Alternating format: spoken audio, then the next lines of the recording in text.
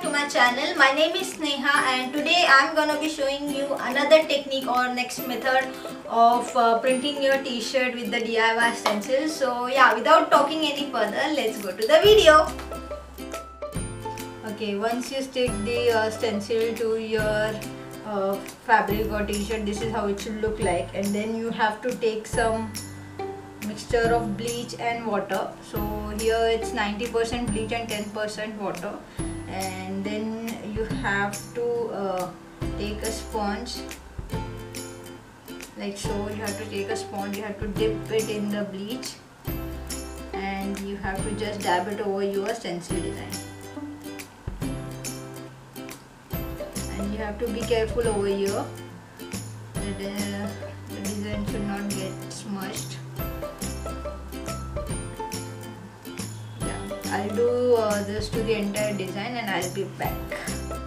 So now I have finished dabbing uh, the bleach all over my stencil and this is how it's looking right now.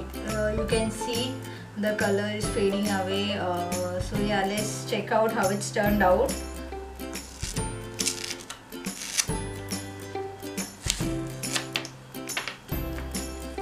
You have to just carefully take out the stencil.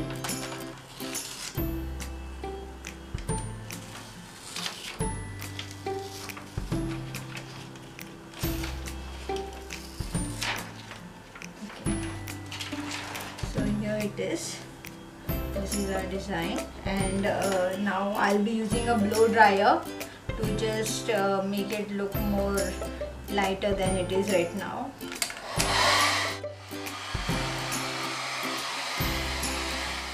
Okay so this is how it's looking once I blow dried it down. And uh, now the next step is you have to rinse this t-shirt so that uh, all the residue of the bleach gets removed.